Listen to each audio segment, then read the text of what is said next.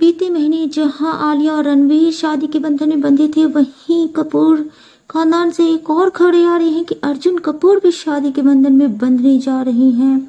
वहीं मलाइका अरोरा और अर्जुन कपूर की जोड़ी अक्सर किसी न किसी वजह से चर्चाओं में बनी रहती है। वहीं ये दोनों एक दूसरे को पिछले चार सालों से डेट कर रहे हैं और अब फैंस के लिए बड़ी खुशखबरी आ गई है कि ये लोग जल्द ही शादी करने वाले हैं और शादी की तैयारियाँ भी शुरू हो चुकी हैं।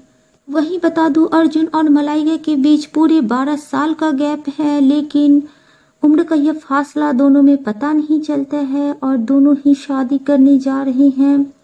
पहले तो इनको एज के गैप को लेकर काफ़ी ज़्यादा ट्रोल भी किया गया था, लेकिन इन दोनों ने इस पर कोई रिएक्ट नहीं किया। वहीं मलाइका अरोरा ने 1998 में अरबाज खान से शादी की थी और 19 साल तक यह रिश्ता टिका था। उसके बाद इन, दोनों ने एक दूसरे को तलाक दे दिया। और अरबाज और मलाइका का एक बेटा भी है अरहान जो माँ के साथ रहता है। वहीं अब अड़तालीस साल की हो चुकी है मलाइका कपूर और अब अर्जुन की दुल्हनिया बनने जा रही हैं।